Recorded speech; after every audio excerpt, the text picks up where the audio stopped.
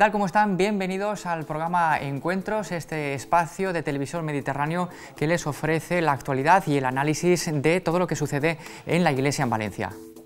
Buenas tardes a todos. Eh, una vez más, esta semana estamos aquí con ustedes para acompañarles durante 40 minutos.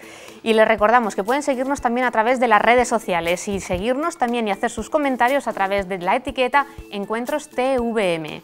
Y hoy, María José, vamos a tener un programa además con un tema principal eh, muy importante, como es siempre el tema de la educación. Y vamos a analizarlo desde una perspectiva de la, de la escuela católica, de la situación actual de la escuela católica en la diócesis de Valencia y la presencia que tiene también aquí entre nosotros. Y para ello nos hemos traído al Colegio Santiago Apóstol. Pero también en el programa de hoy queremos conocer un poco más el Teen Star, un innovador programa internacional de educación afectivo-sexual que ha sido presentado en Valencia este fin de semana por su fundadora, la ginecóloga Hannah Klaus. Además, asistiremos también a la apertura de, la, de Coopera Mediterránea, la planta de reutilización de material textil que Caritas ha puesto en marcha en Ribarroja del Turia. Y por último, Estaremos también en el Congreso Internacional de Educación Católica para el siglo XXI, organizado por la Universidad Católica San Vicente Mártir. Así es que, viendo estas imágenes con el cardenal en este congreso, queremos dar paso, sin más ya, sin más preámbulos, y les invitamos a que permanezcan con nosotros durante los 40 minutos. Comenzamos.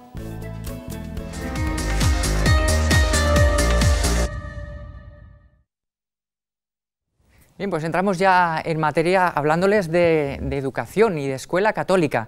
Eh, queremos hacerlo además en un momento particular, eh, toda vez que bueno, eh, la educación católica, los colegios diocesanos, religiosos, siguen teniendo una presencia muy importante entre nosotros, como siempre ha sido en el ámbito de la Iglesia, es una de las presencias públicas más importantes desde siempre de la Iglesia, y en un momento en el que se escuchan voces que piden un modelo único de escuela, un modelo público people. Que de alguna manera bueno, pues dejaría fuera a la escuela concertada y por tanto también a la escuela católica o por lo menos la minimizaría mucho. Nosotros queremos analizar este punto y también queremos ver qué es lo que está ofreciendo en este momento actual la Iglesia en Valencia a efectos de, educación, en la educación obligatoria. Y para ello nosotros nos vamos a acercar como si fuera un, botón de muestra a uno de los muchos colegios católicos que tenemos aquí en Valencia. En concreto vamos a hablar del Colegio Santiago Apóstol, un colegio parroquial diocesano que está en el barrio valenciano de Marchalén. Es un colegio que además, como ahora van a ver ustedes mismos, pues eh, hace un montón de actividades, eh, una labor realmente importante y que además se encuentra de, celebración. Y a través de esa mirada concreta del Colegio Santiago Apóstol, pues vamos a tratar de ver un poco cómo es eh, esa escuela católica. Tenemos aquí en el plató de encuentros al equipo directivo del Colegio Santiago Apóstol. Por un lado, a Óscar García, que es el titular del Colegio Santiago Apóstol, apóstol, también sacerdote, cooperador de la verdad, que es la congregación que gestiona este colegio. Óscar, buenas tardes, bienvenido. Buenas tardes, muchas gracias por la invitación que nos habéis hecho. Y tenemos también a la que es la directora pedagógica de este mismo centro escolar, María Rosa Cholvi. María Rosa, buenas tardes también. Buenas tardes. Bienvenida. Y por hacer una primera aproximación a lo que es la realidad de, de la escuela católica, del Colegio Santiago Apóstol, estamos hablando de una escuela que tiene un valor añadido en ese énfasis que siempre pone en lo que es la educación en valores la educación integral de la persona en todas sus dimensiones, incluida la, espiritual. ¿Cómo el titular del Colegio Santiago Apóstol definiría ese valor que tiene la escuela católica, eh, concretada en este caso en el Colegio Santiago Apóstol? Sí, pues yo diría que la escuela católica eh, no lo es tanto por lo que quizá eh, aparece en los medios de comunicación como cosas sobresalientes como las nuevas tecnologías, el inglés, sino justamente en atender a la persona, al niño, como si fuera único, atenderle en su crecimiento. Eh, nuestra escuela es una escuela pequeña, de una sola línea, y tenemos mucho tiempo y toda nuestra disponibilidad para eh, acercarnos mm. persona a persona al, al, alumno y ayudarle a crecer como necesita. María Rosa, eh, decíamos que el Colegio Santiago Apóstol se encuentra este curso además de celebración con muchos cambios eh, ilusionantes, imagino, ¿no? Entre ellos, por ejemplo, el 50 aniversario de la parroquia asociada al colegio, una congregación nueva, la de los cooperadores de la mm. verdad, que, va, que está rigiendo ya este, este colegio, un momento importante, ¿no? Para sí, la verdad es que, bueno, pues ahora el 50 aniversario de la construcción del templo, porque el colegio, como educación lleva ya muchísimo más tiempo y bueno, pues también un poco el cambio de la dirección del centro. Yo comencé la dirección pues el 1 de septiembre, o sea, este curso, y también pues la presencia de los padres cooperadores que también a su vez comienzan la titularidad del centro a la vez que yo cojo la dirección. Y Con instalaciones nuevas también.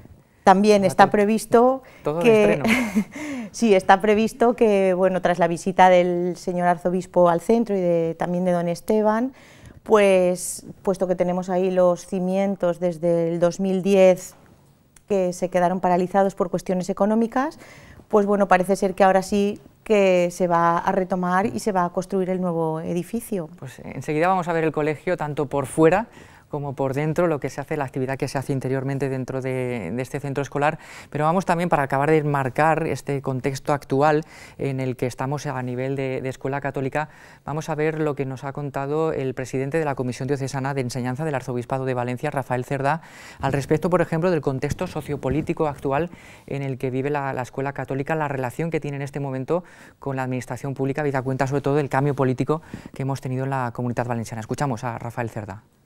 Bueno, en estos momentos la situación de la escuela concertada, pues prácticamente es la misma que todo el mundo de la educación. Hemos tenido un cambio, unos cambios eh, políticos, hemos tenido unas administraciones nuevas que están en estos momentos, pues dentro del sistema de la situación política, pues esperando a ver de qué forma se clarifica todo. Eh, de momento, lo que podemos decir es que en las entrevistas que hemos tenido hay una preocupación por mantenerla por cumplir las leyes vigentes y que todo está, por tanto, a la perspectiva en función de lo que va, de lo que salga. Sí que hay que decir que en estos momentos, pues hay tendencias, hay grupos que de alguna forma sí que marcan o proclaman la necesidad de que la escuela sea pública, es decir, dirigida por las administraciones públicas y que eh, todo eso le dé una misma unidad. Pero por otra parte nos encontramos con que los centros privados y privados concertados, sobre todo, pues estamos teniendo una afluencia de solicitados de alumnos pues muy notable. En general hay muchísimos colegios que se quedan todos los años con alumnos a los que no pueden admitir porque ya no caben. Entonces esa es una, esas son dos realidades, diríamos, una es la de la demanda y otra es la de las ideas, que de alguna forma tenemos que esperar pues que vayan confluyendo poco a poco para el bien de la sociedad. Hablaba Rafael Cerda del compromiso de la Generalitat de cumplimiento de la ley vigente, una ley que hoy por hoy desde luego que garantiza la escuela concertada y por tanto la, escuela católica también está refrendado, incluso en la propia Constitución, como también eh, nos ha contado el propio Rafael. Vamos a escucharle también en sus palabras cómo, cómo argumenta. La enseñanza concertada o la enseñanza no estatal está en todos los países libres, porque es uno de los derechos universales que tienen los padres, elegir el tipo de educación que quieren para sus hijos de acuerdo con sus planteamientos personales. Eso está en todas partes, ya digo, en todos los países libres. En cada uno se argumenta de una, o se, organiza de una forma o de otras. En nuestro caso, eh, tenemos la educación concertada, la educación privada concertada, que esta lo que facilita es que ese derecho de los padres llegue a todos, independientemente de cuáles sean sus situaciones económicas o su, estado, o su, estrato social. Por lo cual, lo que se está con esto es facilitando a todos los ciudadanos de la nación eh, ejercer un derecho. A partir de aquí, pues ya nos encontramos con, lo, con que eh, en cada situación y en cada momento se, estructura de una forma diferente. En España tenemos el artículo 27 de la Constitución, pero que a su vez ese artículo 27 ya viene también expresado por tratados internacionales desde los derechos humanos hasta tratados de tipo europeo y de, y de temas culturales. Pues como ven, por un lado una aceptación muy amplia de la escuela católica en, la sociedad, por otro lado también esa constitución, esos tratados internacionales que refrendan y que garantizan que se puede seguir eh, ofreciendo este tipo de, educación y en torno a, esta cuestión y en medio de esta situación, eh, pues qué es lo que realmente aporta la escuela católica ahora mismo a nuestra sociedad. Esto es lo que nos ha contado también Rafael Cerda. Cuando ya hablamos de la educación concertada católica, nosotros nos planteamos, y una de las cosas que nos preocupa siempre es el qué es lo que podemos aportar a la sociedad, qué es lo que nosotros tenemos que aportar a nuestros alumnos. Porque no se trata de tener un nombre o de tener eh, una historia, sino que se trata de hoy hacer nuestras aportaciones. Nosotros qué aportamos a la sociedad? ¿Qué aportamos? En primer lugar, pues evidentemente la educación. Pero además aportamos una educación que tiene un eje fundamental. Y ese eje fundamental es la persona de Jesucristo. Que yo creo que todos podemos estar de acuerdo que es un modelo de ciudadano, que es modelo de hombre y que además en la medida en que conozcamos y que nos fuésemos aproximando cada vez más cada una de las personas en la sociedad, a vivir el estilo de vida que Él nos propone, pues habrían mucho menos cosas de las que aparecen en las páginas de sucesos y que habrían muchísimas más páginas en los periódicos y en los noticiarios dedicados a las cosas felices. Y esto es, creo yo, fundamental, porque en definitiva lo que, está, lo que se está ofreciendo no son solamente normas y estructuras de funcionamiento, sino que lo que se está ofreciendo es desde ese eje fundamental que es Jesucristo, su vida, su modelo, lo que se está ofreciendo es una esperanza para los hombres, un sentido para su vida y desde ahí, por tanto, un salir al encuentro del otro. Bien, pues ese es el marco general en el que nos estamos moviendo y en ese marco general pues interviene también el Colegio Santiago Apóstol del barrio valenciano de Marchalenes. Óscar, hablaba eh, Rafael Cerdal, presidente de la Comisión Diocesana de Enseñanza, de que lo que aporta fundamentalmente la Escuela Católica es a la persona de, Jesucristo, así de claro lo ha dicho, como los cooperadores de, la verdad en esta nueva etapa del Colegio Santiago Apóstol mm. están trasladando esta persona concreta de Jesucristo con todo lo que conlleva a estos alumnos del colegio? Pues mira, nosotros somos una comunidad de sacerdotes que están entregados a esta educación, porque también somos educadores. Entonces lo que aportamos es eh, ser instrumentos, colaboradores de Jesucristo, que es buen pastor, que es maestro, para aflorar en el niño, en el alumno, este hombre nuevo del Evangelio. Entonces lo que aportamos es eh, maneras concretas de, de, forma integral, ¿no? la fe y la cultura eh, que aflore en su vida este germen del Evangelio, que le ayude pues, con un ambiente, con unas, eh, una cercanía con el educador. También trabajamos con la familia, la, parroquia, el colegio, al unísono.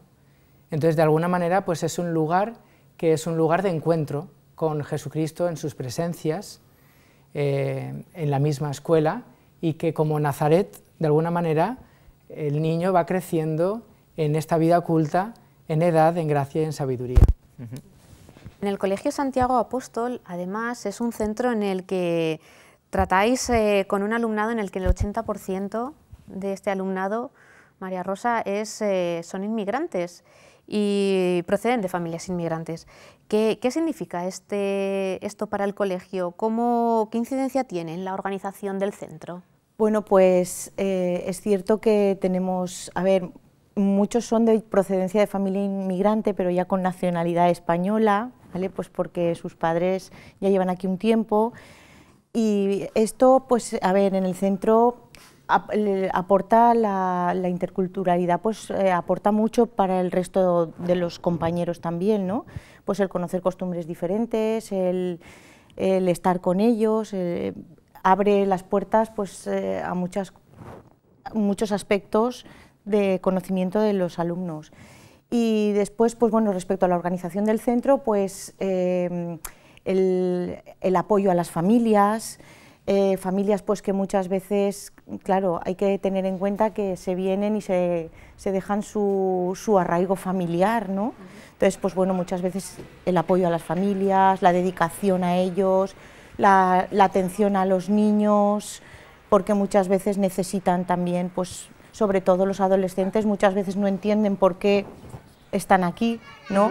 Porque se les ha desarraigado de su, pues eso, de su entorno familiar, de sus amigos. Y a nivel organizativo, pues mm, las clases, por ejemplo, pues de apoyos muchas veces, de compensatorias que necesitan pues para ponerse al nivel académico de nuestro sistema español.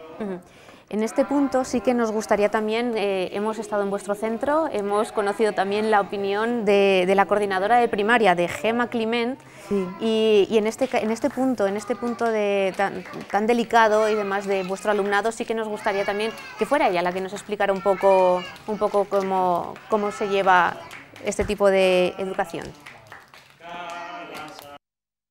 Se integran muy bien porque tenemos bastantes años de experiencia con una variedad de, culturas dentro de, nuestro alumnado y están acostumbrados pues, bueno, a que hay niños de muchas nacionalidades en todas las aulas y la verdad es que no, vamos, no tienen ningún problema en, adaptarse con el resto de, niños españoles o de cualquier nacionalidad.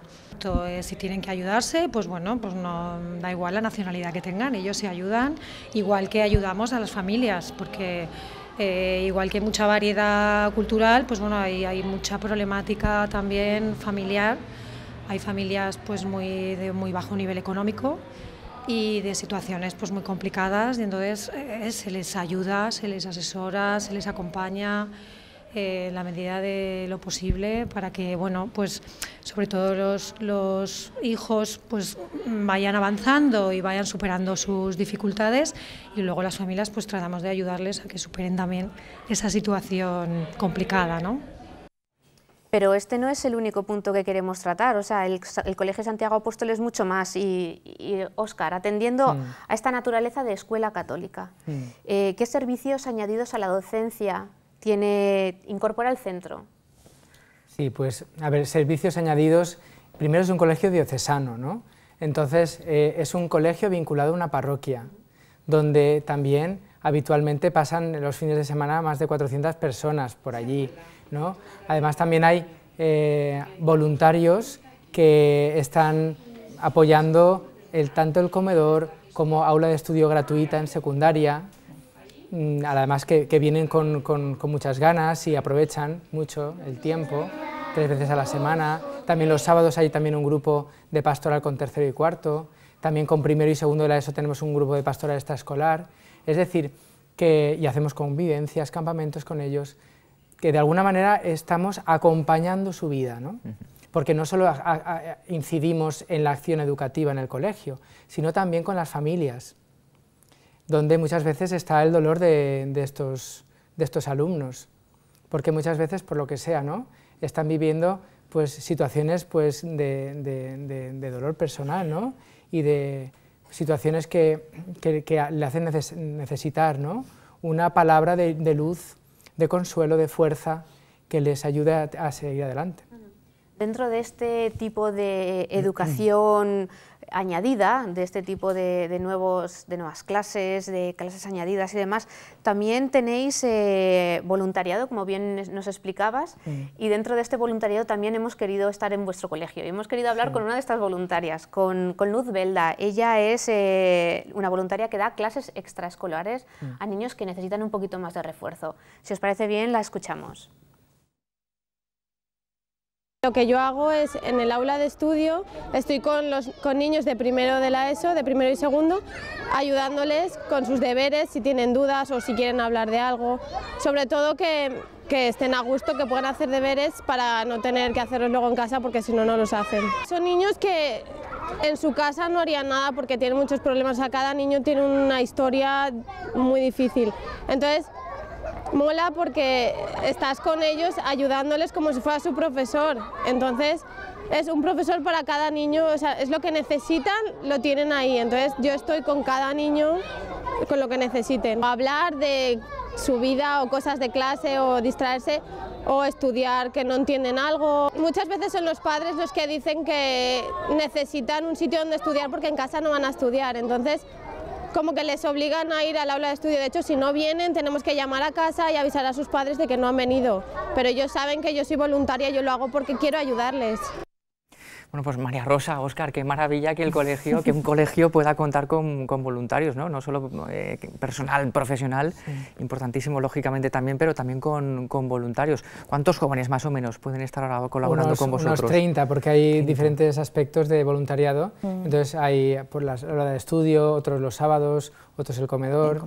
Sí. Y yo fíjate que quiero resaltar un aspecto muy importante que nos enseñan los voluntarios, ¿no? y de alguna manera también nuestra vida allí, que es la gratuidad, que es un aspecto propio de la escuela católica, que es este amor gratuito, eh, porque ahí pues, muchas veces, y también los profesores, ¿no?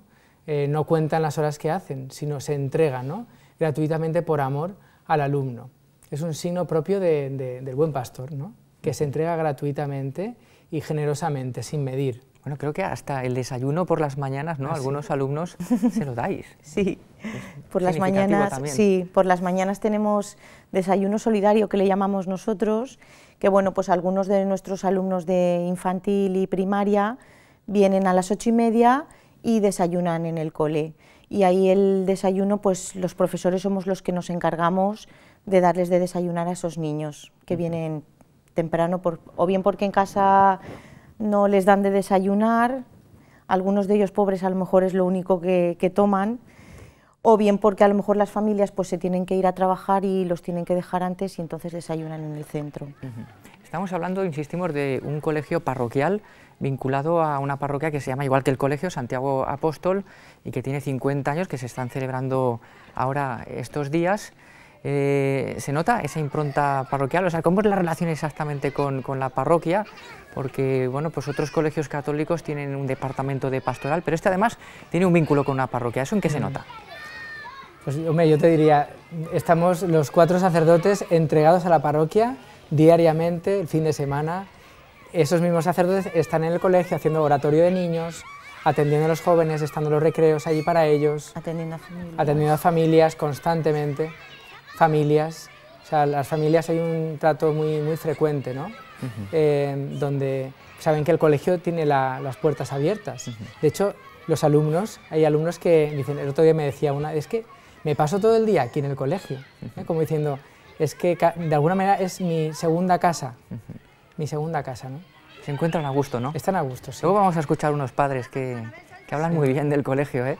No los habéis visto, pero luego os los vamos a Es curioso como hay, hay, padres que han traído los alumnos al colegio y al, ofrecerle, por ejemplo, los sacramentos, el bautismo, pues nada, eh, con mucha alegría y naturalidad lo han acogido y, a, las pocas semanas han bautizado a sus hijos. Me, comentabas también, Oscar, que para desarrollar esta labor tan amplia, que no solo es de lunes a viernes en el, colegio, sino también actividades extraescolares, incluso el, propio sábado, pues que tampoco vendría de más, además de ese aporte de los voluntarios, fundamental, muy importante, pues también vocaciones, vocaciones, ¿por qué no, no? A, la vida consagrada en este caso, al sacerdocio. Hace poco celebramos el Domingo del Buen Pastor, esta jornada mundial de oración por las vocaciones es que es necesario, o sea, hace falta pastores para los pequeños, para, para llevarles esta, esta misericordia del Padre. Y es, mm, es, una oración que nos pide el Señor, ¿no? Pide pocas cosas en el Evangelio y una de ellas es, es esta, esta, oración por las vocaciones. Hace falta pues, consagrados para, para esta nueva escuela, esta escuela del amor y de la, de la entrega a los pequeños, y también, eh, no solo consagrados también y sacerdotes, sino también pues, laicos eh, que desde su experiencia pues, también entreguen su, su vida a esta misión. De hecho, nosotros tenemos también unos encuentros de nuevos evangelizadores en la escuela católica que de alguna manera es como un énfasis, es decir, esta misión es urgente. La Iglesia dice, es de emergencia, hay una emergencia educativa. Incluso algunos dicen alarma, ¿no? Hay una alarma educativa. Así es. Bueno, también eh, estamos hablando todo el rato de que estáis celebrando los 50 años y estos 50 años dan para mucho, unos 50 años tienen una historia de, largo recorrido, desde, desde su nacimiento de la parroquia, la formación como colegio y demás. En este punto sí que me gustaría a lo mejor que María Rosa nos comentaras un poco brevemente la historia del colegio del Santiago Apóstol, cómo nace y cómo se ha ido desarrollando poco a poco. Bueno, pues a ver, realmente lo que es la actividad eh, educativa eh, es no de 50 años, sino de hace bastante mucho más, más de 100 años. Empezó como unas pequeñas escuelas de la Ave María, en una ermita que había, ¿vale? Bastante antes de la riada. Y bueno, y ahí se inició una labor educativa eh, para gente, pues lo que eran las escuelas parroquiales, para gente mm, socialmente muy desfavorecida, gente trabajadora. El barrio de Marchalenes era un barrio pues mm, de las afueras de lo que era Valencia, ¿no? aunque ahora se ha quedado prácticamente en el centro, pero bueno, pues era un barrio donde la gente era trabajadora, gente eh, pues eso de un nivel económico muy bajo, y así se empezó la actividad. Pues bueno, yo qué te puedo decir, yo te puedo decir que, pues que mi abuela fue directora del centro antes de la riada, después bueno, continuó mi madre, ahora yo después de 18 años de, alumna, he sido alumna del centro y después de 18 años de docente, pues estoy aquí, ahora me, Dios ha querido encomendarme la dirección del centro y bueno, pues aquí estoy con los padres cooperadores, que es cierto que siempre ha habido gente socialmente, mm, pues eso, baja, eh, gitanos, eh, inmigrantes, y, de, hijos de familias trabajadoras del campo, porque bueno, pues el barrio de Marchalenes tenía mucho de, campo, sabéis que allí lo que es ahora el, el parque de Marchalenes había una alquería, donde había una fábrica de aceite, bueno, pues eso, gente trabajadora, humilde, el resumen es humilde. Así es como nacieron ¿no? los colegios diocesanos, así impulsados por el arzobispo Marcelino Olaechea, sí, para dar atención pues, a, clases eh, modestas de, la sociedad. No era tanto algo que se quería digamos, eh, dar desde la Iglesia, sino sobre todo que era una necesidad que había en la sociedad, que se estaba reclamando de alguna manera, y la Iglesia atendiendo a esa necesidad, pues instituyó estos Y realmente nuestro colegio continúa con eso, porque el tipo de alumnado que tenemos, pues es así, gente que económicamente pues mm, es pues eso, de un nivel socioeconómico bajito, ¿vale? Y, seguimos dando ese apoyo y esa educación a todo aquel que sabe que tiene las puertas abiertas y que ahí estamos. Pues si, si queréis vemos el, resultado, visto desde la opinión de unos de los padres de, del colegio, para que veáis un poco pues, eh, cuál es, eh, después de todo este esfuerzo, porque es una energía enorme en la que se eh, empeña, ¿no? En llevar a cabo este tipo de, educación, que es una educación integral de la persona, como decimos, no solo son las clases lectivas, es mucho más. Y después de todo ese esfuerzo, ¿cuál es el resultado? Pues vamos a verlo, por ejemplo, en boca de, unos padres. Mellizos, están en segundo de infantil, Tomás y Matías, y, y están muy contentos en el cole. Y para nosotros eso es lo máximo, nos da muchísima tranquilidad de que ellos vengan felices a estudiar aparte que les han enseñado un montón de cosas que, de repente nosotros no sabíamos cómo hacerles llegar tanta información a nivel de, como te habíamos comentado, de arte, religión, este, han aprendido muchísimo. Ha sido como, como, un, como, un, ah, como un cobijo que nos han dado aquí, nos han recibido con tanto cariño y, y bueno, dices, uff, qué tranquilidad estar aquí, o sea, hay gente buena, amable, que trata bien a mis niños, este, y bueno, y nos tratan con mucho cariño cuando venimos a dejarlos todas las mañanas, cuando los venimos a buscar, y bueno, para nosotros que estamos llegando, eso es mucho, eso es mucho. Bien, pues nos quedamos con, con, ese testimonio de esos padres del Colegio Santiago Apóstol como colofón, un poco que nos dice sí, se ve claramente pues el ambiente de alegría, ¿no? de felicidad, en lo bien acogidos que se sienten los padres y los alumnos que, que van por allí. Nosotros hemos querido en este tiempo bueno, pues aportar, hacer una aproximación a esa escuela católica que obviamente es, es, muy amplia en toda la diócesis de Valencia. Estamos hablando de 187 colegios católicos en Valencia. Casi 70 de ellos son de titularidad parroquial o diocesana, uno de ellos es el Santiago Apóstol, con 104.000 alumnos nada menos. Además, eh, unos colegios que ahorran al Estado, a la Administración Pública, en la Comunidad Valenciana, pues nada menos que 730 millones de, euros, que es otro dato creo que importante que habla bien de la, de la, obra grande que se está haciendo desde la Escuela Católica aquí en la Diócesis de Valencia, en toda la Comunidad Valenciana, por supuesto. Pues, Óscar, Rosa, muchas gracias por habernos acompañado en estos minutos. Eh, toda la suerte del mundo para esta nueva etapa del colegio, con esas obras que cuando estén acabadas nos las tenéis que enseñar, ¿eh? aquí en Encuentros no, podéis faltar. Pues Estáis invitados también a, todos aquellos que quieran conocer también este, este ambiente, esta cercanía, esta, esta alegría también de los niños. Están, tenéis las, las puertas abiertas del colegio y, también bendecir al Señor porque nos ha regalado una misión tan, tan hermosa eh, de, de ser testigos cómo Jesús bendice a los niños. Pues muy bien, muchas gracias a los dos. Oscar, María Rosa, hasta la próxima. Nosotros continuamos en Encuentros.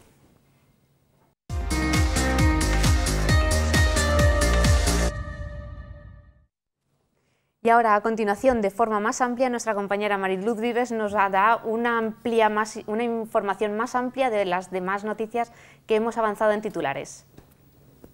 Pues hoy comenzamos este resumen con la plata con el Programa Internacional sobre Educación Afectiva y Sexual Teen Star, que fue presentado por su fundadora, la ginecóloga y misionera austraca Hannah Klaus, impulsora de este proyecto desde hace 30 años y hoy implantado en más de 40 países. En la presentación celebrada en la sede de Santa Úrsula de la Universidad Católica de Valencia, con la participación de Monseñor Esteban Escudero, Hannah Klaus, que llegó a Valencia desde Washington, destacó la importancia de la ayuda a los jóvenes para comprender de manera integral su sexualidad y afectividad pues sin ningún coste para vosotros.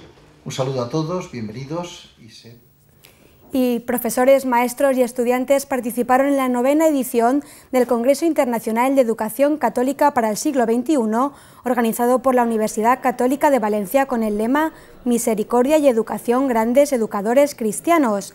Entre las conclusiones a las que llegaron los expertos que participaron en el Congreso, inaugurado por el cardenal Cañizares, destaca la necesidad de procurar a los alumnos un desarrollo humano básico con misericordia y la importancia de la formación cultural y humana.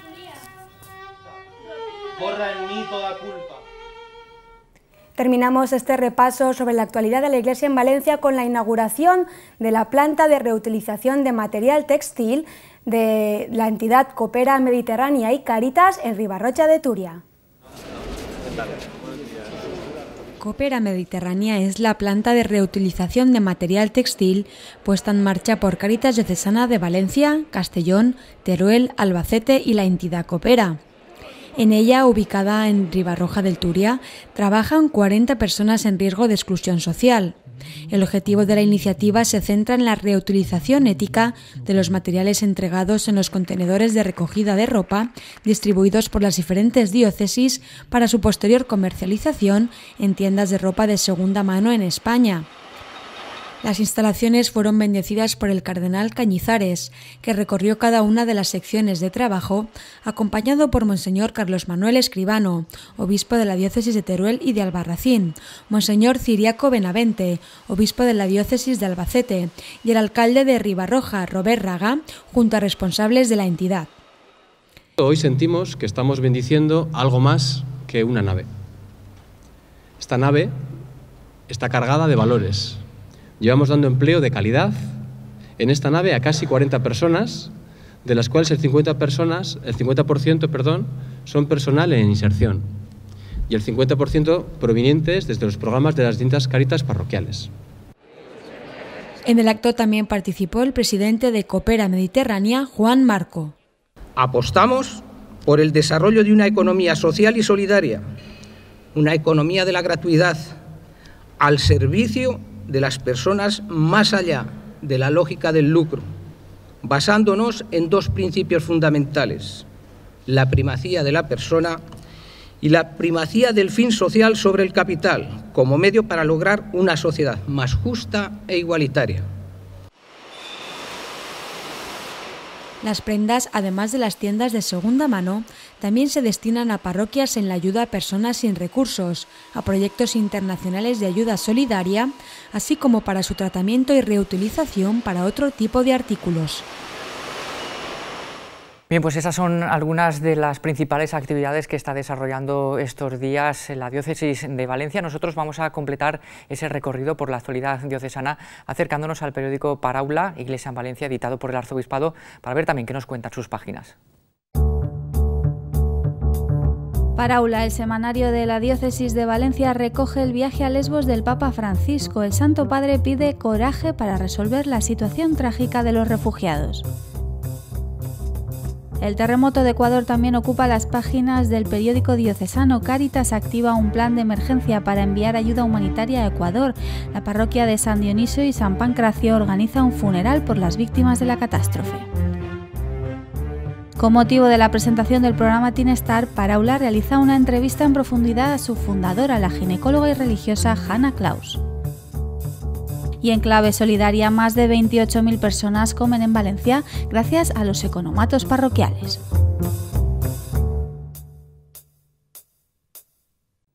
Pues eso es lo que nos trae esta semana el periódico del Arzobispado Paraula y nosotros en esta última parte del programa Encuentros queremos también aportar ahora una mirada joven para ver qué están haciendo los jóvenes en la diócesis de Valencia y para eso pues nos lo va a contar la, persona más joven de este plato que, que es Mariluz Vives.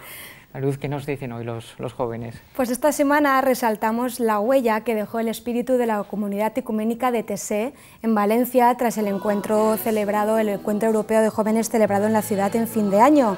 Las oraciones al estilo de TSE en las que destacan los cánticos y los momentos de silencio se están desarrollando habitualmente con mucha asistencia en varias parroquias de Valencia y localidades de la diócesis como Alfara del Patriarca o Genovés, entre otras. Las próximas citas con la comunidad ecuménica están disponibles en la página de Facebook Acogida TC Valencia.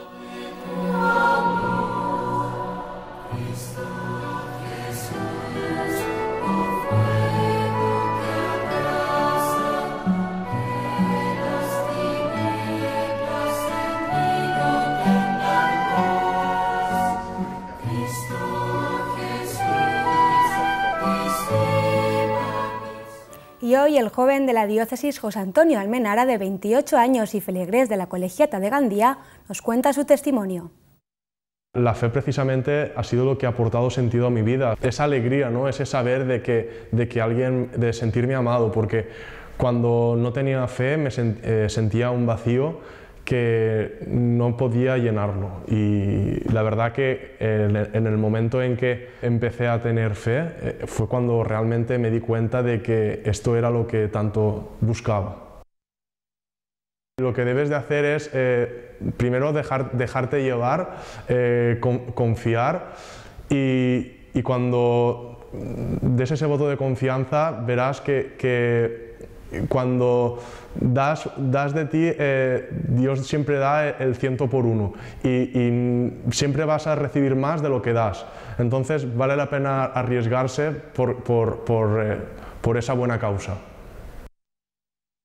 El Papa Francisco también dice que no, no, hay santos sin pasado ni pecador sin futuro, entonces eh, no, no, quiere decir ello que, que los santos sean como, algo así como superhéroes, sino todo lo contrario, eh, son personas de carne y hueso como nosotros y, cualquiera de nosotros estamos llamados a, la santidad. El amigo que nunca falla, ¿no? es, es, es una persona que eh, siempre te va a dar más, nos va a dar más de lo que podemos dar. Y aunque caigamos eh, mil veces, su misericordia es infinita y entonces eso te hace decir, wow, eh, una persona que, que pese a, ser, a ser débil, eh, a ser frágil, a cometer pecados, me va a seguir amando hasta el extremo. Bien, pues con los jóvenes ponemos el broche al programa de Encuentros por hoy. Muchas gracias, Mariluz, por acercarnos el testimonio de, ellos. Y sería bonito que pudieran estar también aquí en el plato de Encuentros para contarnos cosas de, ese espíritu de Tesé, ¿no? sí, sí, así es, y que nos contarán cómo vivieron la experiencia este fin de año aquí en Valencia. Exacto, y cómo la están actualizando, ¿no? durante todo este curso. En los próximos encuentros los tendremos aquí en, en, nuestro plató. Nosotros de momento nos despedimos de ustedes y les agradecemos su presencia, su compañía en estos minutos. Nosotros les esperamos aquí, esperamos verles en nuestro próximo encuentro, que recuerden será el próximo sábado a las 12 y cuarto en TV Mediterráneo. hasta, hasta luego.